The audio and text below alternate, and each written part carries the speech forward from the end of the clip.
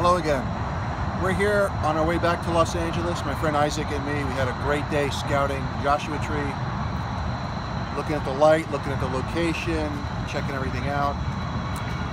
And we're on our way back now, refueling, bathroom, yada, yada, yada. And I come outside and I see this.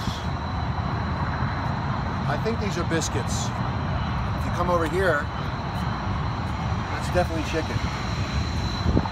What I want to say I'm really hungry. I've been at this since July, and I've about had enough.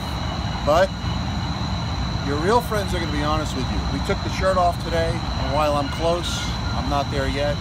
And we got to buckle down even harder now. Three weeks and a minute out. I'm really, really hungry.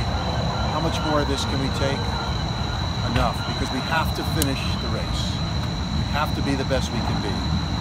But I'm telling you, this is done. Lane Bryant, here I come.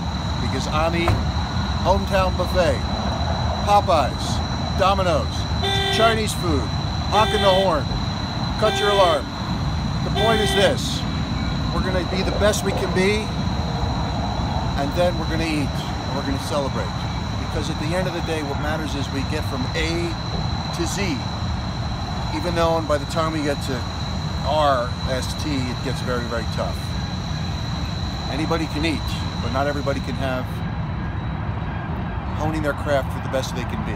So stick with the plan, see things through, and save a little money because if there's an outlet mall on your way home, stop there and see what savings you may have.